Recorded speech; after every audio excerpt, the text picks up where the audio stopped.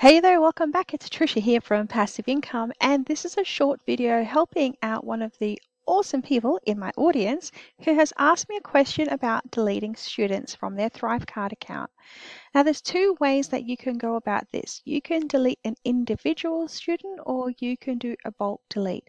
To do the bulk delete, it's best to get in contact with the support team at ThriveCart and they can assist you with that. But to do an individual delete or if you only have a handful of students, this is one way that you can go about it.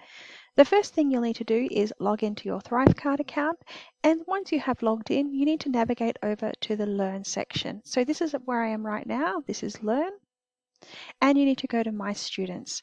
Search for the student you would like to delete. I'm going to put in my own name, Trisha, because I know I have tons of logins here as I test everything when I'm creating it and I'll be able to see all the active people.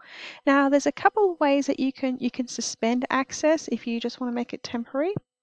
You can revoke, um, but the one that we want to actually do today is delete. So what we're going to do is click on View Profile for Trisha Pabley, and we're going to go to Edit in the top left-hand side and go Delete Student.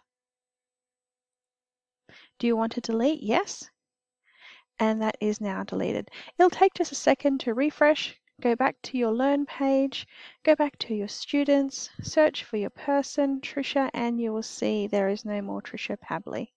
That has now gone. Okay, so that's easy as that.